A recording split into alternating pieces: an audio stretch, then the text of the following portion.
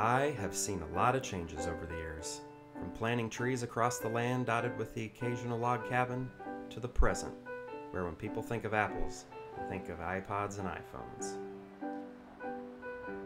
Sometimes it's hard to keep up with a world set on constantly reinventing itself.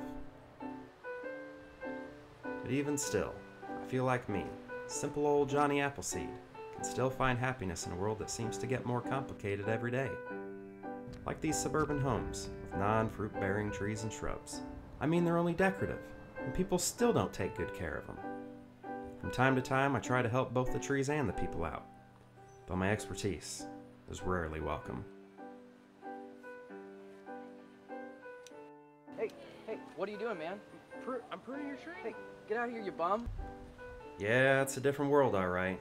People don't seem as willing to trust one another, and I can't blame them.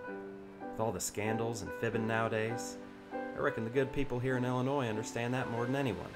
But there are still honest people, just like my buddy Abe Lincoln, rest his soul.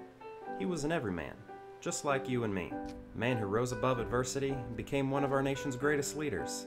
I miss Abe in our times together, but I'm still carrying on. Blessed with the gift of growing delicious apples and a diet consisting of, well, apples. Dang, I grow good apples. I moved to central Illinois to get closer to my buddy Honest Abe. And I found that there weren't very many apple trees.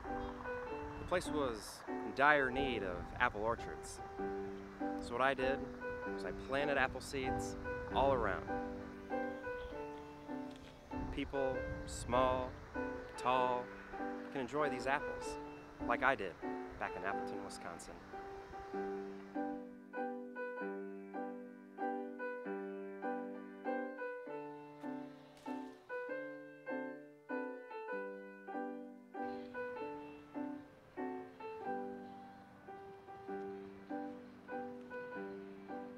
Everywhere you look, people are losing their jobs. Banks are closing. People aren't planting apple trees. One lesson I've learned is to save, be patient, and make investments for the future. Waiting for the fruits of your effort. It's kind of like planting a seed, waiting for a beautiful apple tree to grow. Maybe a gallon. Maybe a McIntosh. No. A Granny Smith. At Lincoln Land Credit Union, I can bank on learning more. For as long as I'm growing apples, I can trust them with all my financial needs.